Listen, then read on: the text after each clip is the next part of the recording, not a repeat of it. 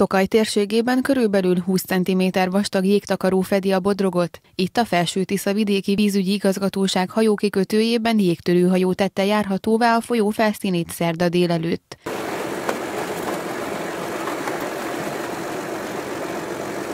Az itt elelő hajók védelme miatt ezt két-három naponta kell majd megismételni, ugyanis a jég nyomó hatása kár tehet a hajótestekben és a berendezésekben is. Az intézkedés egyenlőre csak ezen a szakaszon szükséges. Jégtörés még a Tisza folyón egyébként nem szükséges, nincsen.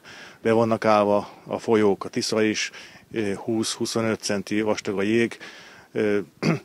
Helyenként van persze vízterület, ott szakaszosan van beállva, mi úgy mondjuk. A, a Szamoson van még zajlójég a legfelső szakaszokon, Csenger, Angyalos térségébe, meg a túron, de szépen egyáltalán beálltak a folyók, árhullám nem vonul le, majd akkor lesz, vagy lehet izgalmasabb a helyzet, ha, ha árhullám indul el. Gergely Emil már 42 éve foglalkozik hajózással, 1998 óta hajóvezető, a jégtörőt is ő vezette a Bodrogon, a jégvirágnak már a kialakítása is eltér a többi vízi járműtől. Ez a hajó 15-20 cm vastagságú jégtakarón még könnyedén áttör. Ennek a különlegessége, ami eltér a, a többi a vontatóhajó vagy tolóhajótól, magának a hajótestnek a kialakítása, lóerejűbe is több, mint egy vontott hajó általában.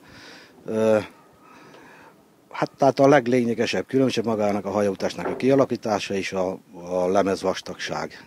A bordázat sűrűség más, mint egy ö, sima hajónak, személyhajónak vagy vontató hajónak.